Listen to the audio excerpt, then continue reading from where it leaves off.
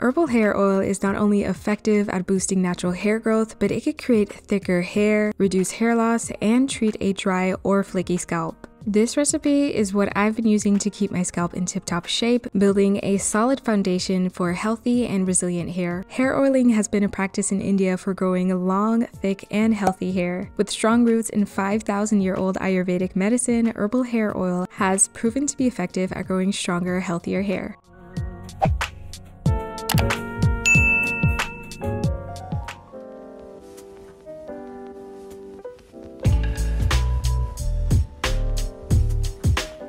With its rejuvenating properties, studies have shown that calendula help to increase collagen production, resulting in healthier scalps and thicker hair growth. If you've seen any of my other DIY recipes, you have probably seen hibiscus and marshmallow root quite a bit, and that's because they are both effective at thickening hair, treating dandruff, and preventing split ends. And because I have curly hair, it helps me to glide through my hair in the detangling process, and it's just pretty much been a godsend.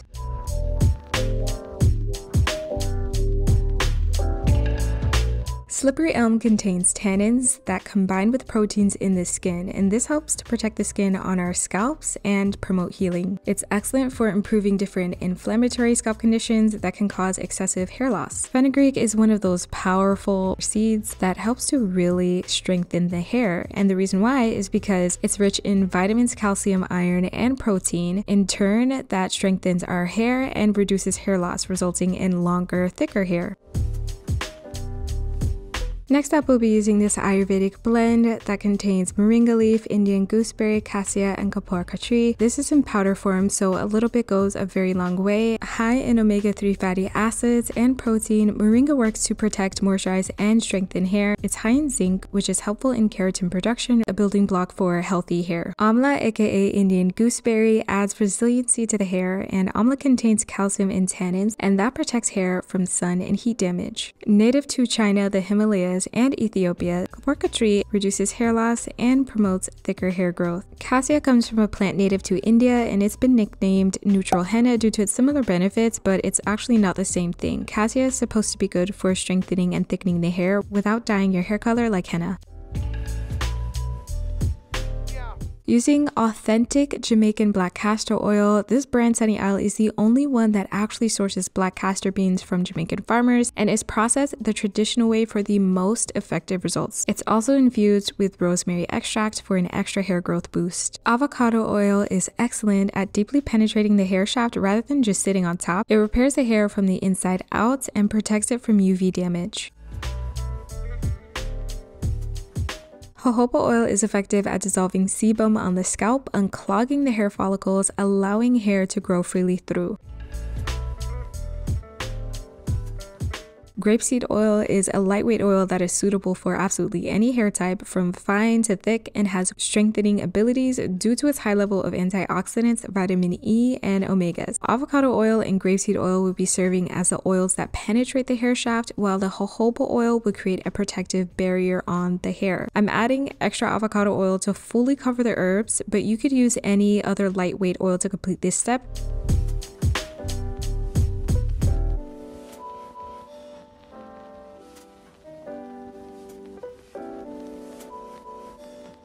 Using the double boiler method, we're going to speed up the infusion process with heat. Heat extracts the herbal and aromatic benefits the absolute fastest. I brought the water to a boil, turned the heat down to a gentle simmer, and then placed the jar in the pot to speed up the infusion process. If you don't mind waiting a longer amount of time, I will show you guys the cold infusion method next.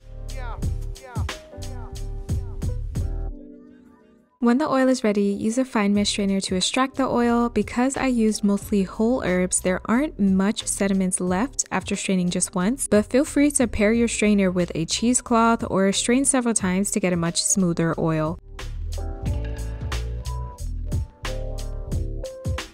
You could reuse your herbs two to three times before throwing them out. Keep in mind that the more you reuse them though, the shorter the shelf life of the final oil. For cold infusion, follow the same exact steps as before, but instead of adding heat, allow it to naturally infuse for four to six weeks in a dark cupboard. The longer you wait, the stronger the herbal infusion will become. Throughout the weeks, be sure to shake the jar every single day to assist the infusion.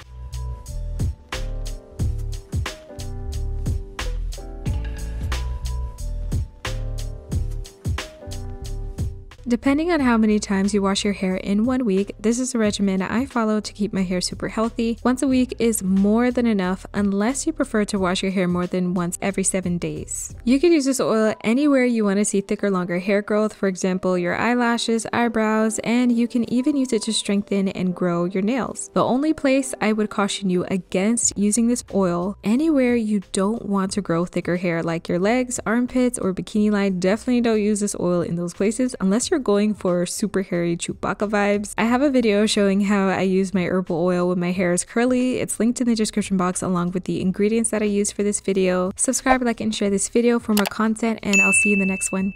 It's 100% possible to go from curly to straight with zero heat damage. Today I'm sharing how to do a DIY silk press at home and my top tips for straightening your hair while preserving its natural curl pattern and integrity. And trust me, I am no stranger to heat damage. I've learned the hard way. Since learning those lessons, I understand what my hair's limits are and creating adequate heat protection starts with your wash routine before touching any heat tools. To help me straighten my curls in one pass, I'm using this Denman straightening brush. It works so much better than a fine tooth tooth comb for the chase method. And of course, you could go ahead and use a fine tooth comb. That also works. But I find that the grip on this Denman brush works better to give me the smoothest results because of how it distributes the hair before the flat iron passes over it. Ideally,